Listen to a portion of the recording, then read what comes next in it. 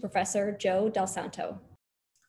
Well, thank you, Julie, and good evening, everyone. It is a pleasure to be back with you here. Even though we can't be together in person, it's always nice to be able to discuss some fascinating topics in astronomy with you. I understand we have probably somewhere around 150 people attending, some from other states. So welcome to all. Tonight we have a fascinating topic, maybe you've heard about in the news recently, the discovery gravitational waves. And frankly, this is a topic that is quite momentous. So in order to give you a good understanding of this discovery, I'd like to take an approach that I sometimes do. I'd like to take a few minutes and give you a little bit of historical background so that you have some context with which to understand this discovery and again, how momentous it really is. So I'd like to cover these four main parts of our discussion tonight, again, to see how our view of the universe has changed over time. Number one, we'll start with some ancient ideas about the universe. And I don't mean necessarily the exact understanding we may have had, but more how we studied the universe, how we looked at it. Then we'll cover the scientific method, perhaps our most powerful method to understand the universe. I'd like to take a few minutes to talk about how much we have learned by observing light. That may seem obvious, but I think you'll see it's important to understand how much we've been able to discover and learn about the universe via light, how that has led to our current theories, our current understanding. And then I believe we will be in a good position to fully understand and appreciate, again, this momentous discovery of gravitational waves and how they're changing our view of the universe. You see here an ancient uh, illustration of man's search for knowledge to understand our universe. I think that's just fundamental to all of us. And it's something that will continue to be with us forever, really. Let's go back to ancient philosophers. I can't cover all of them, certainly, but I'd like to highlight a couple here that perhaps you're familiar with Plato and Aristotle. Now, Plato took the approach that the visible material world that you and I see and are familiar with is merely a shadow of the ideal invisible world. And therefore, he tended to shy away from or even spurn experiential learning. Instead, he felt that your senses were fallible. They might lead you astray from this ideal, perfect world that he envisioned. And so he began to emphasize the importance of reasoning from first principles to try to understand rather than the other way around, what we might call empiricism. Well, Aristotle took a little different approach. He was familiar with two different ways of reasoning. Perhaps you've heard of induction and deduction. Induction, as you see here, is really taking specific observations and extrapolating them to come up with general principles. But deduction, which he emphasized, kind of works a little differently. Here you start with certain general premises and you use those to interpret your observations to reach a conclusion about the natural world. So I think you can see the difference there in our little diagram. And because Aristotle did that, for many centuries. His approach was the standard approach to understanding nature. He became revered. Many referred to him in later centuries as the philosopher said this or the philosopher said that, and they would use that to, again, try to understand the natural world. Unfortunately, that did have the effect of restricting our advances in many areas of understanding the universe. But I guess you have to remember that they really had no technology at their disposal here. And so they took this approach to trying to understand the universe. Well, let's fast forward a number of centuries and we come towards more of the Middle Ages here. I'd like to highlight three particular individuals, as you can see here. Francis Bacon really was one of the first to outspokenly um, really propose empiricism. He felt that truth was not to be found merely through reason and logical argument as the ancient philosophers, but rather, again, through empiricism, through experience, through experiments. He felt that our observations with our senses were trustworthy to understand the world we lived in. even if we extended those observations with instruments.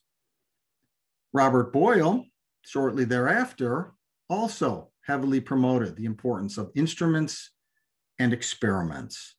He was one of the early founding, founding uh, members of the British Royal Society at that time that took this initial investigative type of approach. And shortly thereafter, Robert Hooke, a younger contemporary, has also emphasized the importance of analysis and reasoning on the experiments. In other words, once we observe certain things in nature, we of course could use those to again learn and draw various principles. So I think you can see here the beginning of a new method of understanding the universe. And gradually this took hold, gradually others began to realize the value of looking at the universe from this perspective. So again, at this point, I think by now you realize that we're describing the early beginnings of science, a scientific approach. So let's take just a couple minutes and look at how science actually works. Over on the right, you can see a number of the steps, but I'll kind of talk through them. Science begins with observations. We go out and we look at the natural world, whatever field we may be interested in, whether it's astronomy or something else. And of course, these need to be something that anyone can do. Repeatable, verifiable facts that we know. Usually, being curious as humans are, this begins to generate questions. Why is it like that? What's causing that? How might I explain that? And so this is the early steps in science. Those facts then are taken and used to perhaps generate what we call a hypothesis or a early explanation, kind of a provisional one, waiting to see if we might prove that correct or not. And often these hypotheses take the form of a model. We come up with a way to, again, explain certain phenomena we might see. I'll use a simple example I sometimes use with my students. If you lived centuries ago and you went outside and looked up and watched the moon, for a number of nights moving through its phases, you might conclude that, well, it seems like perhaps it's going around the earth and the sun is off in the distance illuminating it. From that point forward, we need to know if we're correct or not. Can we explain it? In other words, we must test the hypothesis. We must test the model in some way, depending on whatever we are investigating. Perhaps we devise an experiment. Perhaps we make a prediction to say, well, if my model, my explanation is correct, then I should see this. I should see the moon continue to go through these various phases. I should see that repeat monthly, and so on and so forth. If our explanation, our hypothesis is found to be wrong, which is often the case, we may have to just simply discard it and start over. It's very common in science. There's no shame in that, I always say. Scientists do this all the time. But usually, as we develop a number of hypotheses, sooner or later, we're going to find one that does seem to work better. It does pass our tests. So even if we must update, improve, expand our original hypotheses or develop a whole new one at some point, we're going to get one that does explain what we see, that is verified by our testing. Here is where we now can begin to call this a theory. So this word theory is used a little differently in science than it maybe is in everyday life. Sometimes if we voice an opinion, someone might say to us, well, that's just your theory. But that's not really how we best use that term in science. I emphasize to my students that a theory must have some support. It must have passed some tests, for us to use that term. Now, that doesn't mean that we view it as absolute truth, but instead we continue to test it. And in this way, we learn more. And we use that theory to explain what we understand up to that point in time. So this is how our understanding of the natural world grows. Usually as our theory continues to be tested, we either develop more experiments or make more observations. We continue to learn more and often we are able to improve our theory. So this was the method that again took over in the Middle Ages and has served us very well ever since. Today it's followed with great rigor by many scientists throughout the world in many fields. And it has been called sometimes a self-correcting method. In other words, sooner or later, we will arrive at a correct understanding, despite the fact that, of course, scientists aren't perfect, may even have biases. This methodology can lead us to a correct understanding.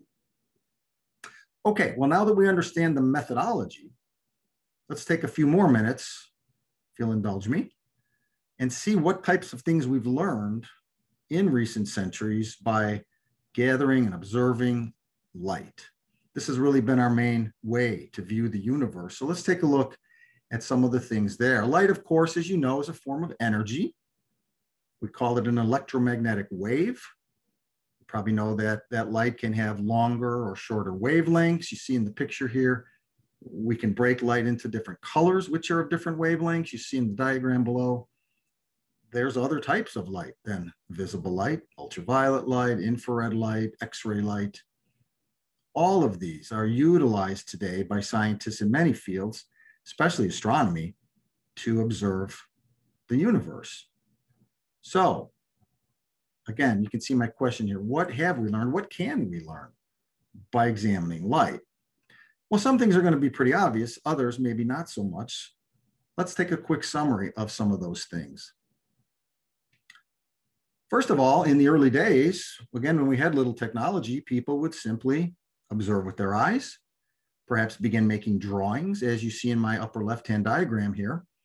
And then eventually by the 19th century, when photography was invented, they could take photographs. And today we can take electronic images and store them, transmit them and so forth, enhance them. And so certainly we can learn about the appearance of objects, their structure, we can, by careful use of photographs and images, measure the distance to astronomical objects, a method called parallax. I won't go into that right now. How about simply looking at the brightness of an object? Well, here's where a fundamental law of light can serve us very well. It's called the inverse square law of light, and it basically relates the brightness we see to the distance of the object and its luminosity or the amount of light that it is emitting. We know, of course, that the farther away an object may be, the dimmer it appears, but how much dimmer? Well, physicists were able to tell us at some point that light diminishes, again, according to an inverse square law. In other words, if the object is twice its original distance, it's not one half the brightness, it would be one fourth the brightness. And if it was moved to three times its original distance, it would be one ninth the brightness. You can see again, we're squaring the distance in the denominator of a equation there. How about spectroscopic analysis? What is that? Well, I've mentioned in other lectures that we, of course, can take light, break it into a spectrum of light, as you see there in the, um, the middle left-hand image. And from that, we can determine a, a lot, especially in astronomy. Number one, we are able to measure the velocity of an object. Number two, its composition by the pattern of lines you see. Number three, its temperature. In fact, we can go on and on, but one of the most, I think, impressive things we've done is we've used spectra of light to not only discover, but to measure the expansion of our universe. So you can see how powerful light is. There's much information contained in the light that we receive from astronomical objects that we can learn. What's photometric monitoring? Well, this basically deals with monitoring the brightness of an object. It may be that the actual star or other object is literally changing its luminosity. It may also be changing its size and its volume. This method has helped us discover the distances to galaxies it has even helped us find planets around other stars that we cannot even see. Notice in my uh, bottom animation, you watch closely, a tiny little planet is passing in front of a star. We may not be able to see that planet in most cases, but we can measure the brightness of the star over time and notice the dip right about there. maybe only a very small dip, perhaps only 1% or so, but it's telling us that some small object is blocking a tiny bit of the star's light. And we can then not only detect, but study that planet without ever seeing it. Finally, if we look to the stars, planets, and other objects, we might measure their orbital motions. This has led us to understand their masses, which is vital in astronomy for us to know. It helps us to understand the stars, how they change over time, how they're born, they live, they die. So I think you can start to get a sense here of how much we have learned using light. It has really been the basis, the foundation of so much we've learned about the universe.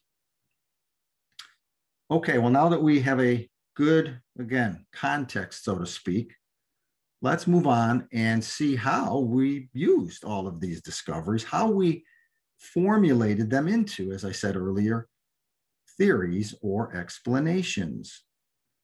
Well, after the scientific method had been used for a while, you probably will recognize several of these historical figures who did come up with some of the major theories of our universe. Let's start with my friend Isaac Newton here. Newton had a pretty good idea, a pretty good theory of how the universe works. I say pretty good only because later we found a better one. But at the time, Newton's theory was outstanding. It took all of those observations of his day and it consolidated them and used them to build, as I just said earlier, a wonderful, excellent theory of the universe called the classical theory. And this was, again, an experiential approach to our macroscopic everyday world. We could measure objects, we could make different calculations. For example, Newton, as you see in the upper right here, discovered various laws of motion that we could use to understand what we saw. For example, objects don't just begin moving or stop moving all by themselves, of course. His first law says they stay at rest or they stay in motion unless a force, force acts on them. And you and I are familiar with that, of course. That second law relates the force applied to a body to the acceleration.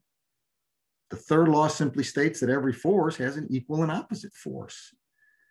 These three laws are the foundation of so much that we know about the mechanics, the dynamics of our universe.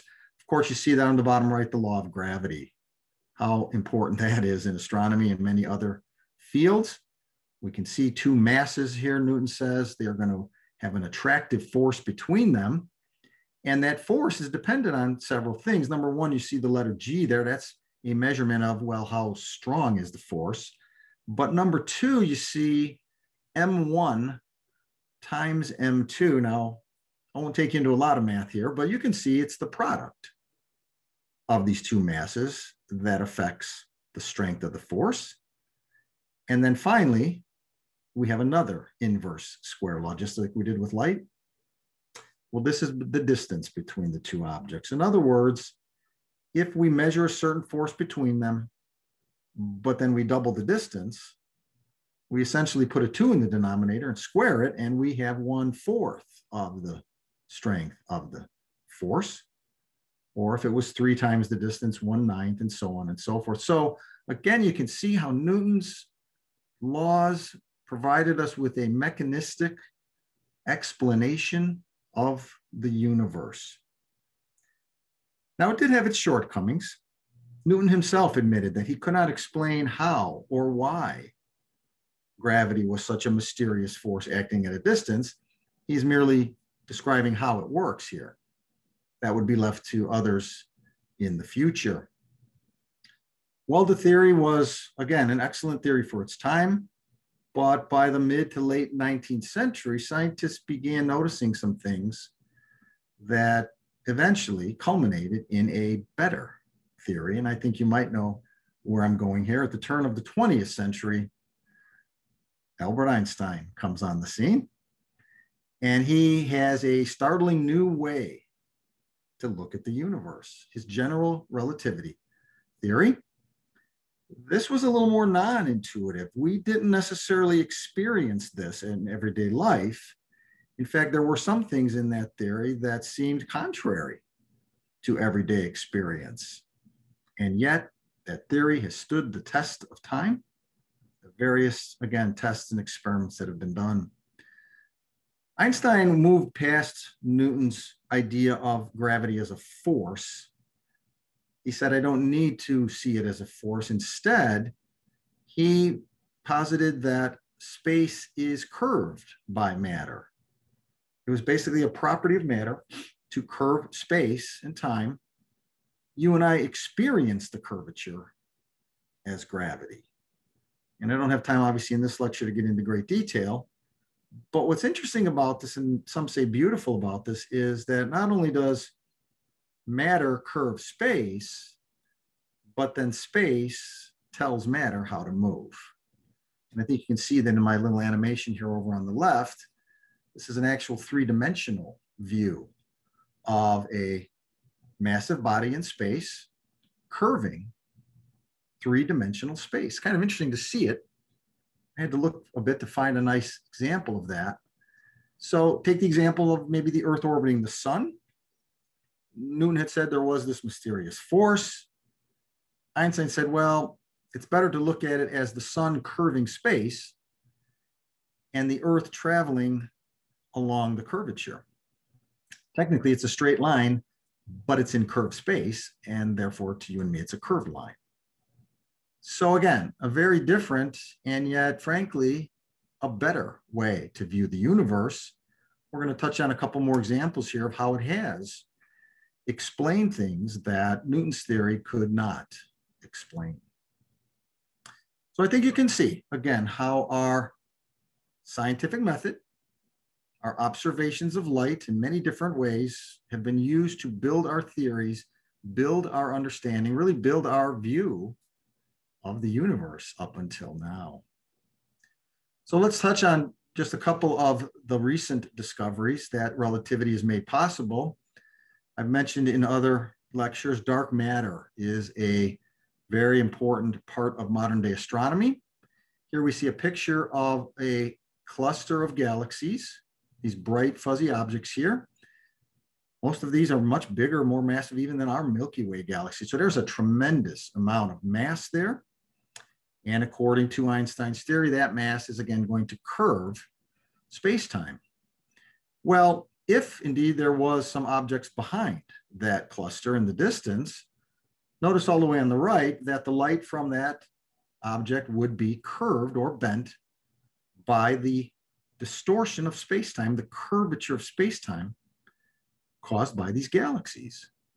And so you and I would see a different view, a very distorted view of those background objects. In fact, if you look back in our main picture, you see those blue streaks of light there. Those are not physical objects. Those are the distorted images of objects behind the galaxy cluster.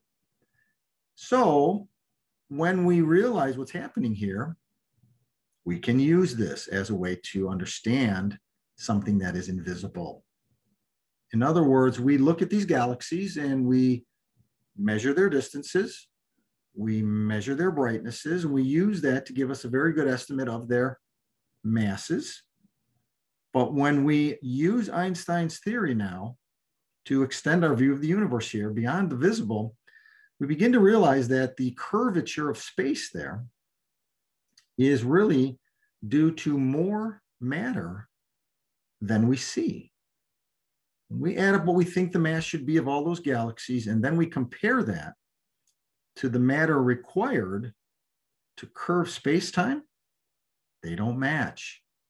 There are several times more the amount of matter than is visible. And this is where we have now come to the conclusion that there must be dark matter here. So dark matter is a fascinating mystery. It deserves its own lecture, I suppose. But just to summarize briefly here at the bottom, dark matter does not emit any type of light or absorb any type, simply doesn't interact with light. And yet it is, again, several times more prominent or prevalent than visible matter. That makes it the dominant form of gravity in the universe. And not only in today's universe, But if we were to look back even to the beginning of the universe, the formation of galaxies, the gravity of dark matter would be predominant here.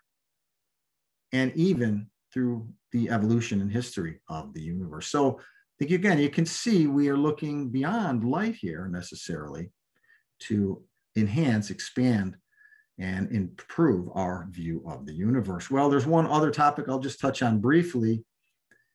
You've probably heard of dark energy.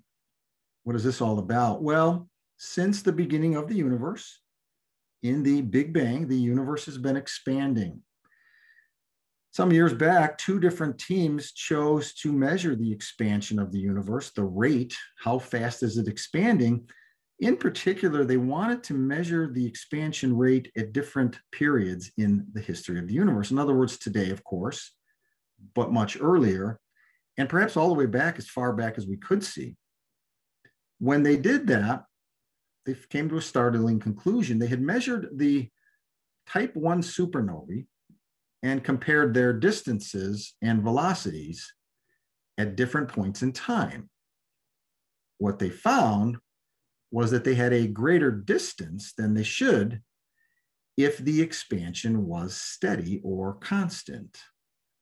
And you know, of course, if you travel a greater distance in your car in the same amount of time, surely you've been moving faster.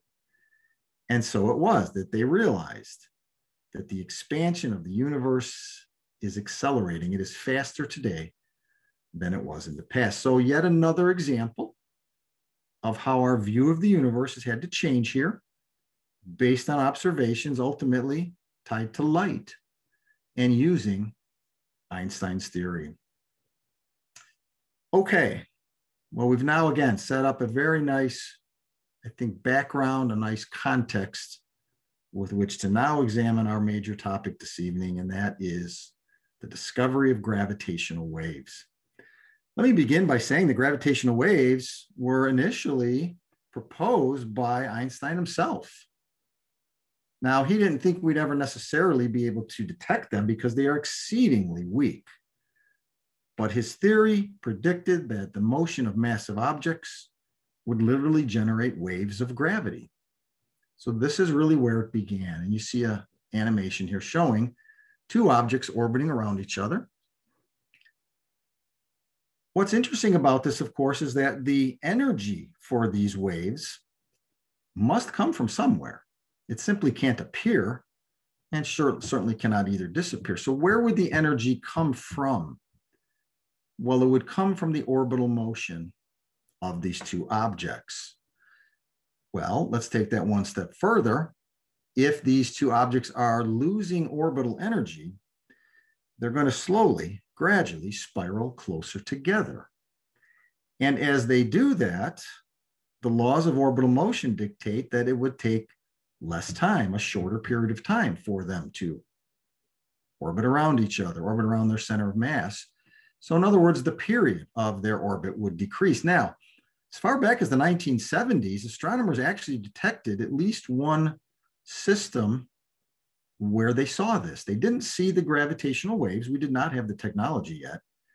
But what they did see was a pair of stars orbiting each other. And if you look at my graph here in the lower right, the period of their orbit was decreasing exactly as the theory of relativity predicted. So again, it's an indirect type of evidence. We don't see the gravitational waves, but what we do see is their effect. As orbital energy was changed into gravitational waves, these two stars were gradually, slowly spiraling closer together, and the period of their orbit was being reduced. So, this was a significant discovery. Astronomers felt excited, of course, to say, yeah, this really is occurring. Another essentially another test of Einstein's theory was being passed, but we couldn't necessarily detect the waves themselves.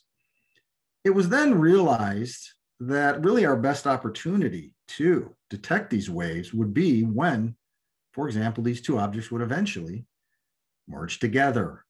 There would be a much stronger burst of gravitational waves. And so scientists began thinking about how we might someday be able to detect that. Well, before I go too much further, let me go ahead and introduce the way we do detect these waves. Perhaps you've heard of the LIGO and Virgo gravitational wave observatories. Now, they, of course, don't look like any observatory you've ever seen before that astronomers have used because they have a very different method, very different purpose in their work. But you notice on the right, the LIGO Washington and LIGO Louisiana facilities and the Virgo facility in Italy. These are currently our three primary gravitational wave observatories. I assure you that tremendous time, energy, and money went into the development, building, testing of these facilities, but we now have the ability to use them for gravitational wave research. I want to tell you that um, sometime back, I happened to be watching a video I had recorded years ago, and it dealt with these facilities uh, just before they were being built and how the scientists were talking about it. So it's been very interesting for me to kind of watch that occur over the years and see this take shape and really come to life. So let's find out exactly how these work. And to do that, I'm going to use this animation. But before I begin it, let me give you a little explanation. What you're going to see here down in the lower left, this simple model, this cylinder is going to emit a beam of light, essentially laser light. And that small thin object in the middle is what we call a beam splitter. It's going to split the light into two identical beams. They're going to travel out some distance. Several kilometers are the length of the LIGO detectors. They're going to bounce off ultra precise and ultra smooth mirrors so that there's no distortion introduced there. It's very critical. And then they're going to come back to the beam splitter and be essentially merged back together down to the screen in the lower right. So the general idea here, the basic idea is that those two lengths, those two arms that the light must travel down must be exquisitely, precisely the same distance. And when the light is merged back together, one of two things will happen. Normally, it will merge back together in a way that the scientists will realize nothing is occurring. But if a wave of gravity were to pass through each of these arms, you notice they're perpendicular, it's going to affect one more than the other. One of those arms is going to either lengthen or shorten a little bit more than the other. This is the critical, important measurement that they're after what will happen is the light, as it's recombined, will not be perfectly collimated again. Instead, the scientists would see a little different version of that light, a little different signal, so to speak, in that screen. So let me put it into motion. As I just described, you see the light being sent down to each of those mirrors, bounce back. And if the length of the arms were to change, notice how the light signal changes. So let's watch a little more closely here as our light wave is split apart, sent down to bounce off the mirrors. And again, if the arms expand or contract, even in the slightest, they will be able to measure that difference. Notice here, for example, the two light waves, the yellow and the blue, are what we call out of phase. But if those arms change, watch closely, they can go into phase. And this is exquisitely delicate measurement but we now have the technology to do it. You can see again how the signal might change. It's just a idealized version here. So this is the general idea. As I said, it has been a very long, difficult, time consuming, expensive road to building these facilities. And yet the scientific community stepped up. The funding was made available. The facilities have been built, tested, and are now in operation. They continue, of course, to be very carefully monitored for this exquisite work that must be done. So here is where the story gets even more exciting. As I mentioned to you, we expected that two massive objects spiraling together would give us this burst. Here you see an animation of two black holes. What would be more massive than that? As they spiral closer and closer, you'll see a burst of stronger gravitational waves. And this is what the scientists hope to detect. So this work went on in the early 21st century. Success was achieved in September of 2015. The first direct observation of gravitational waves matched perfectly with the prediction of general relativity. Here at the bottom left, you see the three primary scientists, although there were hundreds of others, Barry Barish, Kip Thorne, and Rainer Weiss. These men have dedicated their entire careers, really much of their lives, to the success of this accomplishment. They deserve great credit, as you're going to see. They actually were awarded the Nobel Prize for this. So what do the squiggly lines mean on the right there? Well, in less than one second, two black holes merged and over three masses, three solar masses were converted into energy. This is an unimaginable amount of energy. As you can see here, 10 to the 49th watts. To give you some idea, our sun generates about 10 to the 26th watts. so it's really hard to imagine how much energy this is. This is how much was changed into gravitational waves, matter changed into energy according to Einstein's theory. They call the resulting signal a chirp. You can see the little squiggly lines indicating that. This distorts that mirror spacing by less than 10 to the minus 18th meters. Again, hard to imagine the delicacy of such a measurement. It's less than one thousandth the diameter of an atomic nucleus change in one part in 10 to the 21st. As you're going to see, hear one of them say, no wonder it took so long to be able to detect such a thing. So these gentlemen deserve so much credit for guiding this through many years, again, of development and construction and finally success how about we get acquainted with these three gentlemen? We'll watch just a very short video clip in which the LIGO team discusses their work. And as I mentioned, these three were awarded the 2017 Nobel Prize in Physics for decisive contributions to the LIGO detector and observation of gravitational waves. Let's, uh, let's watch their story here.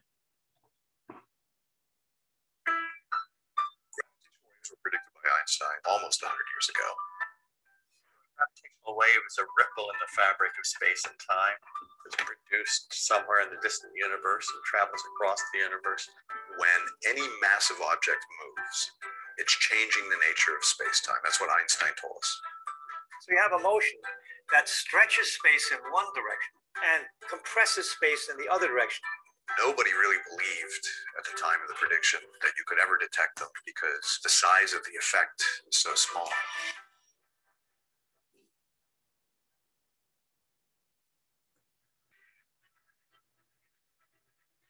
It was what we call a chirp, and it was strong. Everybody thought it was a fluke. It was too good. And I thought, my God, this looks like it's it. Oh my gosh, this is this is real. It took us 25 years and two detectors to finally detect a gravitational wave.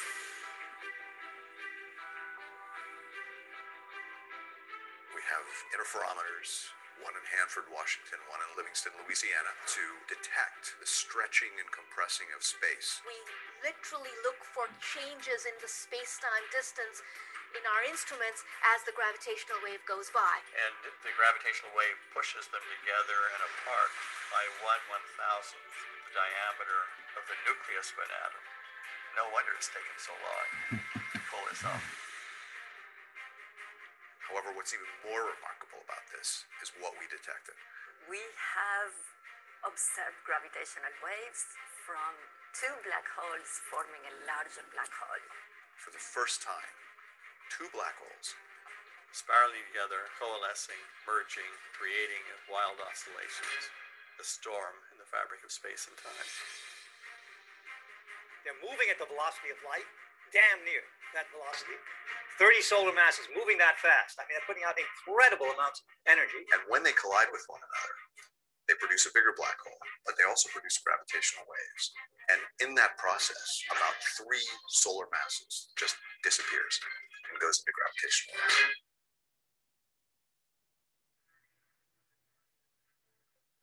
It's going to be amazing. We have always said that this is going to be uh, a field called gravitational wave astronomy. Gravitational waves carry information that you can't get from any other way. A supernova, two neutron stars colliding. Even the Big Bang itself, the beginning of the universe, all produce gravitational waves. This first detection by LIGO is the very first step. It's just the start of the story nature is about to tell us. I would love to see Einstein's face. I mean, he would have been as dumbfounded as we are, because it's a wonderful proof that all of this incredible stuff, the strong field gravity, is in his equations. Just imagine that. To me, that's a miracle.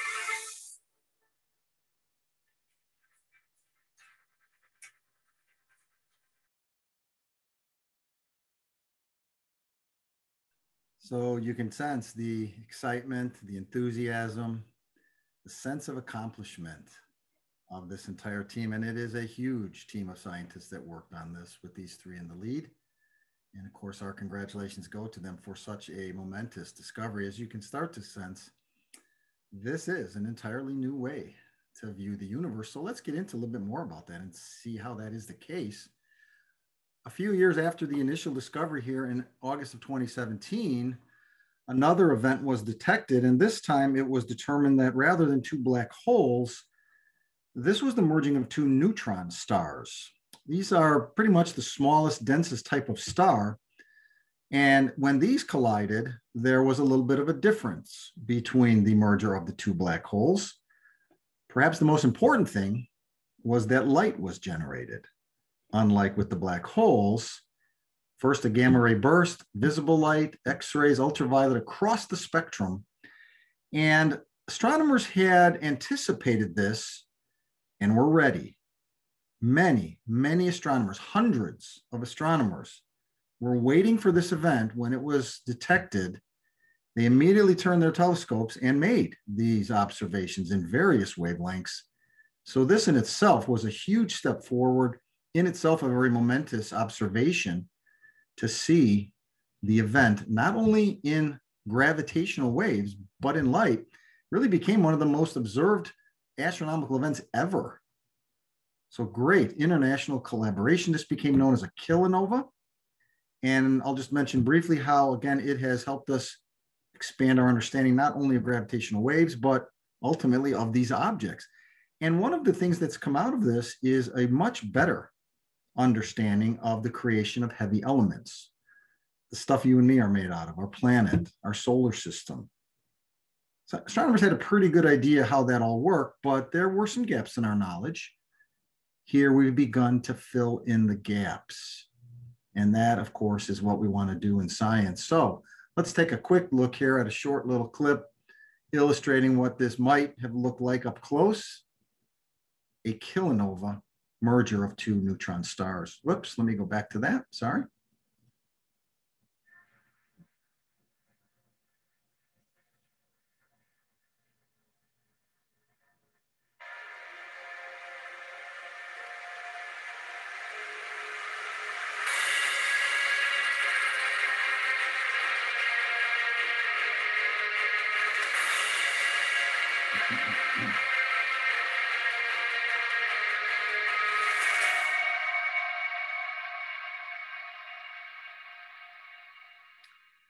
Quite a dramatic uh, experience there, wasn't it? We can only imagine how that would have been up close.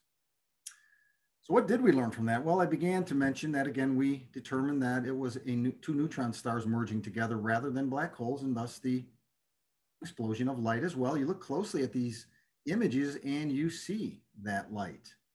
Taken above with the Magellan telescope, we see that galaxy in which it's embedded and then the close-up view from below and this has, again, helped astronomers learn more about heavy elements, a little different process called neutron capture. I won't get into that right now. But the fact that we, again, have now seen events not only in gravitational waves, but at the same time in light and vice versa, this is now being called multi-messenger astronomy. In other words, we're seeing two different, entirely different views of these events. And we're hopeful that in time, this can lead us to many insights, one of which, as it says here, would be the independent measurement of the universe expansion rate.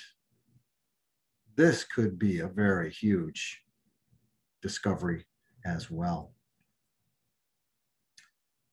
Well, the very latest results were just released this past fall, a few months ago, the gravitational wave transient catalog number two, 39 additional events to add to the original 11 for now a total of 50. So you can start to sense this field is just beginning to mature a little bit. More and more events are being detected. We are adding to our number of events. And of course, we're going to learn so much. This graph on the right from my friend Aaron Geller at Northwestern, where there's quite a number of the astronomers working on gravitational waves, begins to summarize some of these events. Notice the vertical axis, the mass of the various objects, and down in the bottom, these would be neutron stars, one to two solar masses. But as some of those merge together, you can see they're going to become black holes. And then as you get up above three to four to five solar masses, these are black holes. And as they merge together, they're going to make bigger black holes. So we're starting to see a population, so to speak, of these events. And if you realize that just in the last few years, we've already had 50 detections, you begin to realize they're not so rare as we might have thought. Different combinations of masses, some where the black holes are fairly equal in mass, some where they're very different. There were a couple notable discoveries in this data. Seven black holes resulted with more than 50 masses of the sun. Why is that significant? Well, up until then, we had not discovered black holes of that mass. Most stellar black holes are going to be much less than that, perhaps 5, 10 at most, something like that. But the fact that there were seven with greater than 50 solar masses is a new insight. We had suspected there may be these intermediate mass black holes. Now we've defined, now we've detected them. 26 of the 39 had spins indicating a common origin. In other words, their spin axes were aligned, which tells us they probably formed together long ago as very massive stars, but 13 of them did not. And so again, you begin to see a slow improvement, a slow growth here in our knowledge of this population of events. So what an exciting time to be involved in this type of research.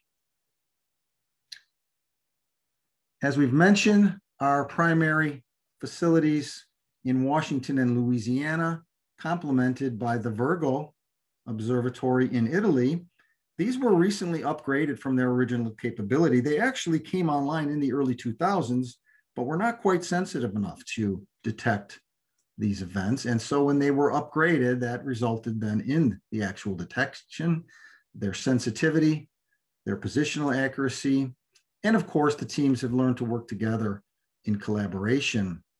I will tell you that Japan's Gravitational Wave Observatory, KAGRA, just came online about a year ago at this time. It's not quite as sensitive as the other three, and they are still kind of working through the improvement of the facility, but that will be added to the collaboration here very shortly.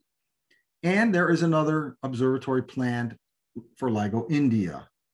So you can also see them separated here in longitude. The coverage around the Earth will give us, again, not only improved sensitivity, but the ability to pinpoint the position of these events, these objects in space, and hopefully allow other astronomers to observe them as well. So what's the future hold for gravitational wave research? Well, to answer that, let's step back and kind of look at the big picture here for a moment of this whole spectrum of possible gravitational waves. Over in the uh, towards the right in that blue region is where our current LIGO detectors can function. And you can see that they can detect, again, black hole mergers, supernova explosions, and other various things with gravitational waves of a certain period, or you might say wavelength. Well, I think you get the idea that it's far from all of them, isn't it? This vast spectrum of possible gravitational waves awaits our exploration. In the green shaded region, you see what is being proposed as a next generation of detector called LISA, and I'll get to that in just a second. But take one last quick look here at some of the objects that we may be able to observe in the future. We hope to and really plan to. Supermassive black holes in the centers of galaxies. You heard one of them mention even the very early universe. Shortly after the Big Bang, there was likely gravitational waves released. So this is almost as if we are back shortly after Galileo invented his telescope and began to see things no one had seen before. Can he imagine what our telescopes can do today? Well, this is kind of where we are with gravitational wave astronomy right now. It's just shortly after detection, but we're going to expand that to other, again, wave periods or wavelengths. And let me go ahead and show you how we're going to do that using LISA here. So LISA is the laser interferometer space antenna. Get this, a proposed gravitational wave observatory of three spacecraft separated by over two and a half million kilometers. Now you may know that the distance from the earth to the moon is only less than half a million kilometers. So this will be an enormous array of these three spacecraft. They will need to be maintained in very close, precise formation in order to do their work. But such an enormous size will enable them to detect gravity waves of much longer wavelength, much longer wave period than anything here on Earth. And so they'll be able to detect, again, very different gravitational waves earlier and sooner than we will here on Earth. This will be a next step, a excellent complement to the Earth-based gravitational wave detectors. LISA, we hope, will be the one that will enable us to make this independent measurement of the expansion of the universe. Perhaps you've heard of the Hubble parameter H sub zero. You might have heard recently we've got two current ways to measure that. And for whatever reason, those two numbers do not agree so well. There's a bit of uncertainty about what's going on here. Scientists love a good mystery. And we have one here with the expansion rate of the universe. So we'd love to bring in a third independent way to measure this expansion parameter and understand better uh, the expansion and history of our universe. So I can tell you that although this is still kind of on the drawing board, so to speak, there was a technology demonstration already performed by putting much smaller uh, technology, the mirrors themselves into space and beginning to test out the technology needed to make this happen. So scientists are very hopeful that in the next oh, 5, 10, 15 years, this project will move forward and give us another big step forward, gravitational wave astronomy. Well, we have come a long way in our discussion here this evening, haven't we? Why does this matter? Some people might think that's very cool that scientists love to do this, but really, why are we spending all this money? Where's this going? I'd like to conclude with a few comments about that question. Number one, you can see here the very first reason humans simply want to understand the universe. We want to know that's in our nature. We've always been curious, we've always been explorers, and it has led us so far, of course. Number two, I think most people would agree that advances in scientific understanding have led to other discoveries. Let me just touch on a couple that we anticipate when you think about gravitational waves, how gravity again is a property of matter. And as matter is changed into gravitational waves, this, in a sense, we could say may allow us in the future to literally not only understand better, but to kind of see inside these objects, so to speak. We don't know what form that may take, but it is a very tantalizing idea that it may give us the ability to do something like that. That second bullet there, these primordial gravitational waves from the beginning of the universe. I won't get into this in detail, but if you're familiar with this, it, it might sound familiar. Immediately after the Big Bang, space itself had very tiny little fluctuations called quantum fluctuations. And then we are pretty sure there was a burst of expansion called inflation. And this may have generated gravitational waves that are still visible, still imprinted, so to speak, on what we call the cosmic microwave background. I know I'm getting a bit technical here. Some of you may be familiar with that CMB. The CMB, what we see of it today is the farthest back we can possibly look. This is when the universe became transparent to light. This is as far back as we'll ever be able to see with light. It's about 380,000 years after the Big Bang. Well, scientists would love to look back farther.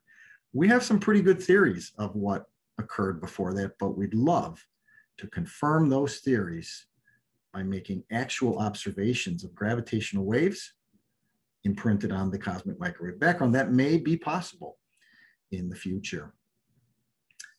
Well, again, some may say that's all very good. And again, scientists love this kind of thing, but what does it mean for me? You see again our progression there along the bottom from the early philosophers through the scientific revolution of the Middle Ages, the Renaissance, Newton's theory, Einstein's theory. What does it mean to most everyday people? Are there any practical benefits? To answer that, let me use an example that I like to share with my students sometimes. Let's go back in our minds, visualize the early to maybe mid 19th century or even before that. We didn't have a lot of technology, did we? People lived in their simple homes. But there was this one guy named Edison, and he had this idea. He was experimenting with electricity, as a number of scientists were and it was more of a scientific curiosity to most people. They didn't know what he was doing. It had no effect on their life, but think about the advances that resulted from that. You can see again, I tried to illustrate this. People were carrying candles around in their homes, and Edison said, You know, I got this better idea. Maybe I'll make this light bulb thing. Now, people might have thought, Well, why do you want to do all that? We, you know, candles work fine, but really they didn't. think about the coming advances. Let me walk you through a couple of those that resulted from Edison and others experimenting with electricity. People like Maxwell, Faraday, maybe you know some of those names. Okay. So Edison invents the light bulb after numerous failures. Well, that technology led in the early 20th century to the invention of some new thing called the radio. Maybe you've heard of it. And this was amazing at the time. In other words, someone could sit at a device and speak into it, and almost magically, their voice would be transmitted miles away to someone else with a device who could hear them. This was technology. This was an amazing advance based on electricity. Well, you can see the story here where I'm going. It wasn't but a couple more decades before we now encoded video information we developed cameras, motion picture cameras that could take that video, transfer it into a electronic signal, transmit it invisibly, almost magically through the air to people's homes. They could watch others speaking without ever being near them. This was an amazing uh, invention in the 1940s, 1950s. Of course, every American home had to have one or more. And from there on, some of you may even remember as far back as when that technology led to computers. Those were originally huge devices at large institutions, but now everybody could have a computer in their home. And I think you know where that's led. Now we all walk around with a computer in our hands, in our pockets, don't we? We have more computing power in our cell phones than the whole world had a few decades ago. And ultimately, of course, the internet. I don't have to talk about the power of the internet, how it has connected the world together. It has allowed so much communication in so many ways. So, my point of all that is yes, basic or what we call pure research does matter. We don't often know where it will lead, but that's the point. We need to follow it, we need to pursue it look at how far we've come in just the last 150 years with electricity. Had those early scientists not experiment with it, we would not have all of these advances that we do today. So I think you can see again, when you take that idea, that concept back to science in general, how important that is. You take that back to a little bit more specifically, perhaps astronomy now, this idea of gravitational wave astronomy, where that might lead us, we don't know. Well, in conclusion, let me just sum up a couple of thoughts then. We've seen how humans have always, again, wanted to understand the universe. At first, when we didn't have much technology, we turned to reason. But by the, again, Middle Ages, the scientific revolution, the scientific method was developed, and it has proven, as I said, to be a very powerful, perhaps our most powerful tool to explore and understand the universe. We saw how much we learned by analyzing light. I didn't have the time tonight to go into much more detail, but I think that all gave us, as I intended, the background, really the context in which to now view this new discovery of gravitational waves. It truly is a new way to view the universe. So I'll simply leave you with that question where will it lead? Time will tell, but surely we must follow. So thank you very much for being with me tonight. I enjoyed that. We're going to take a short break here and answer a few questions. Before we do that, I'll just remind you that if you enjoyed my presentation tonight. There's other ones out on YouTube that you can find. Some of you have been in attendance to those, so nice to have you back. Whether it is extrasolar planets, Spitzer Space Telescope, black holes, a number of them out there. I'm always curious in what topics you may like to hear about. Got a few ideas myself. And if you'd like to go a little further even, maybe you don't have the time to attend classes, but I do have some short, brief courses set up on the internet as well, one for solar system astronomy, one for stars and galaxies. Here at your convenience, you can watch short 15 to 30 minute videos on a number of topics in those areas. So thank you again for being with us tonight. We appreciate you supporting COD's STEMinar series. I'll turn it back to Julie for just a moment here, and then we'll get ready to take some questions. Thank you again, Joe. Just as a quick reminder, uh, you can use the Q&A feature um, in this webinar to ask your question of Joe, and then we'll try to get to as many as we can tonight. And take a look at the questions here. Oh boy, we got a few coming in. All right, let me just glance through these for a moment. Maybe I'll pick out a few of those. Okay. All right, let me start with uh, one of our first ones here. It looks like it's a little more related to the idea of dark energy. And the question is from Uh, is from Trixie. Why do we think the expansion rate is accelerating? That seems counterintuitive, and it does seem counterintuitive, doesn't it? If you had asked astronomers 25 years ago, we would have all said, yeah, that can't happen. So I, as well as pretty much any astronomer, was shocked when that was announced even the teams that discover it were shocked. So ultimately, it comes down to these teams made very certain, both teams, to both independent teams, to be sure of their results before they even announced it. Of course, this was extremely well vetted by the entire astronomical community. And as they like to say, it simply won't go away. So the point becomes now we have to explain it. And kind of, I guess my short answer would be that there are a number of different possibilities for what is causing this. It is clearly some type of energy that is pushing the universe apart faster over time, thus the generic term dark energy. Um, I'll just throw one at you briefly here. It's thought that down at the very, very, very lowest, smallest scales, space and matter are not perfectly smooth.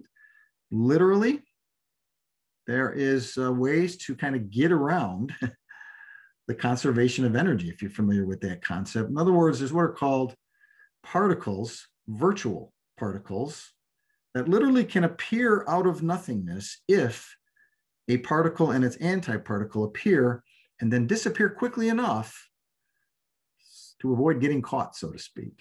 And it's thought that when this occurs, they may give a very tiny little push a very tiny little expansion to space time. and then pop back out, disappear. So I know it sounds like we're kind of making that up. Frankly, this is at that stage where we're throwing hypotheses out on the table, so to speak, and trying to test them out. Time will tell. Right now, some of the, the best astronomers are really thinking about what other possibilities there may be for that. Interestingly, these possibilities are allowed by Einstein's theory, and they also start to bring in the other major theory of physics called quantum mechanics. So this is an exciting opportunity even. We think this is telling us something about the universe that's going to help us kind of um, coordinate, or what's the right word I'm looking for here, put together these two theories. Up till now, we've had a hard time with relativity on the large scale, quantum mechanics on the very small scale. How can we harmonize those? We've had trouble with that, but we think maybe this may be a clue that may help us. All right, so thank you for your question. Let's take another one here. I'm gonna take one from my friend Gary Zintar out in New Mexico. Some of you may have seen some of his amazing astrophotos. My goodness, if you haven't, I'll be glad to share a few of those. But Gary simply asked what kind of heavy elements were produced in the neutron star merger, the kilonova, I don't know the exact details on that, Gary. I do know that there are elements that we've had a hard time explaining before, things like uranium and plutonium. It seems like those are very hard to create in a well understood supernova, but it seems like these are the type of elements that may well be produced again in these kilonova. So that's an exciting um, step forward again to kind of kind of fill in part of our gap uh, in that particular area. Let me go back to a question here by Sarah Kimber. The Hubble parameter. Maybe I went over that a little bit more quickly than I, I could have. The Hubble parameter essentially is telling us that at a certain distance from Earth, a galaxy is receding from Earth at a certain velocity. And you'll hear the units sometimes vary, but generally we'll say, well, at a distance of this many megaparsecs, a megaparsec is several million light years the velocity would be this much, whatever that might be, um, 100 kilometers per second or 200 or 300. So you would think if the universe is expanding at a steady rate, that it would be exactly that. If you were to plot this out, you'd get a nice straight line. And for the most part, that's true. It's not like it's a wildly different value, but again, as these teams noted in the early universe, that graph curved a little bit. In other words, what it's really telling us is not so much the early universe expanding faster, it's us today. The universe today is expanding faster than it was by a little bit in the past. So the Hubble parameter measures the expansion rate or velocity at different times. It's not perfectly uniform all the way up there, up till, till today. Okay. Let's see what else. Got a few compliments, so thank you very much. I do try to provide you guys with a nice uh, discussion on different topics. There's a few little more technical questions here. The process is used by LIGO and Virgo to locate the source. My friend Mario, good question. Didn't really cover that so well. When we observe a event of really any type from different positions or different locations, sometimes you hear this term we use in everyday language, we kind of triangulate, if you've heard that term. Astronomers may use different terminology for it. But if we view an object or an event from two different positions or locations, we get a little different perspective, don't we? And in some ways, it can be likened to, again, triangulating and saying, well, if we essentially kind of drew a virtual triangle, so to speak, we would get a better understanding, better positional location of that particular event or object. So the idea here is by having two facilities, LIGO in Washington, one in Louisiana, you got two different perspectives. And essentially it's quite complex, it's quite uh, difficult, but they essentially can use that. Think about the curvature of the earth, think of the positioning of the arms. So these detectors are three-dimensionally in very different orientations, and it takes quite a bit of sophisticated analysis, but they can essentially use them to get a different perspective on the same event and get us a better positional fix. I believe that was your question. I hope that was the answer you were looking for. Okay. So let me see what else we got here. My old friend Joe Malik, nice to have you back with us tonight. How do astronomers know the cause of the gravity waves? That's complicated. I won't pretend to understand every little detail, um, but essentially the idea here is again, uh, general relativity shows that matter can be changed into energy at its, at its simplest explanation. I think that's our best bet. You know that in stars in the center, matter is changed into energy during the process called nuclear fusion. Now only a small amount of the matter changes into energy, but it's enough to power the sun and other stars. Well, here we have a much greater, a much more powerful process, so to speak, where the matter itself in its entirety is changed into the energy of gravitational waves. So I guess the short answer would again be that during the merger of the black holes, there's a lot of very, very complex physics going on to cause that to happen. Space time itself, as I think you heard one of the scientists, he liked to use that term. He said it's almost like a, almost like a storm in space. I kind of think that's a nice descriptive way to say what's happening here. The merger itself results in this change from matter into energy. Okay, let's see if we can take one or two more here. Okay.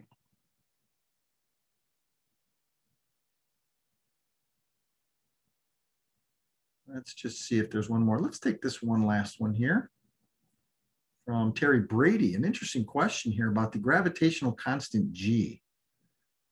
See that in the equation? We kind of take that for granted. It's actually a very small number because frankly, gravity is the weakest of all the natural forces we know of, the four primary forces.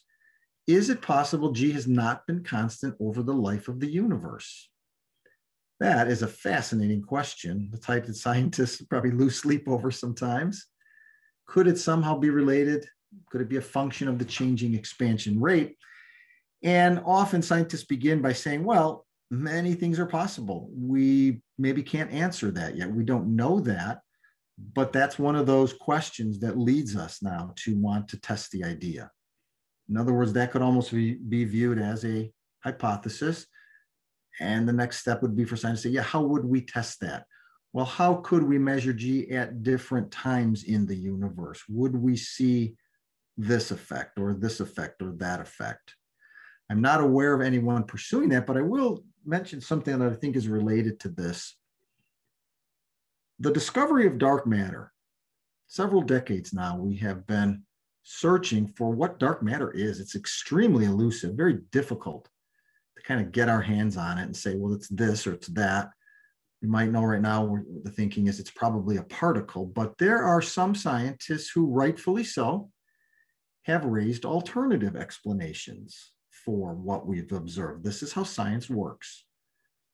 And one of those is similar to what you're describing here. It's called modified Newtonian dynamics, if you want to look that up. And basically, what they're saying is exactly that. Maybe not so much over the life of the universe that gravity changes, but their thought is at great scales. In other words, on very large scales, could gravity perhaps change a little bit? And so, again, it's fair for them to propose an alternative explanation. Once again, that needs to be tested. They have had many discussions already. I will tell you that the vast majority of the astronomical community has not adopted their explanation, but it hasn't completely gone away. It's been raised again recently because of the difficulty in putting our finger on that. So, to answer your question, many things are possible. It may be that future research could turn something up like that. We don't know. Right now, the consensus is it is unlikely, but if G had changed over the life of the universe, I will tell you this, that would have a great effect on stars. Stellar fusion would not be possible if it had changed very much. We would not be looking back into the distant ancient universe, or I should say it the other way around, the early universe, and seeing stars. So that in itself, I think probably is telling us no, G has been very stable but I guess time will tell. Well, thank you very much for those. There's a couple more I won't go into right now, but very thought provoking. Hope you enjoyed our presentation. And uh, yes, we will plan to get back together again in the fall. So hope you'll join me. And in the meanwhile, again, please take time to enjoy some of the presentations out on YouTube. So thank you very much. Have a wonderful evening and a nice weekend and hope to see you again soon.